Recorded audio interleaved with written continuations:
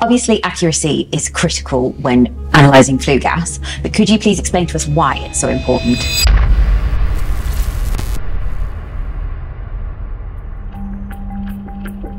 Okay, if you about how a boiler is being set up, the key things for um, an engineer setting any boiler up is A, is the boiler safe? You've got to make sure that obviously all the products of combustion are being put through the flue, but also it's the whole aspect of making sure the boiler is set up to be its most efficient.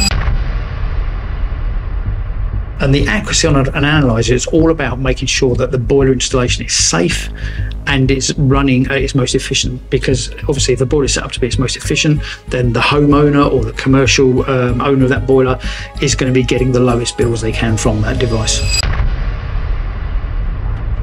And what are the consequences of inaccuracy? If the readings are not correct, who's to say that that boiler is actually also not being set up in a safe condition? Exactly. So it's all about safety primarily and efficiency.